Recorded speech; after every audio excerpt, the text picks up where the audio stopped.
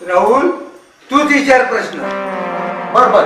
विचार विचारा ते ना जन्मतारीख काय म्हणायची? सोळा तीन चौऱ्याण्णव. शिक्षण काय झालंय म्हणायचं?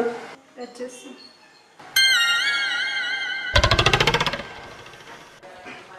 अहो पण आम्हाला दहावी शिकलेली पाहिजे होती. अहो दहावी झाल्यावर त्याच्याशी होती या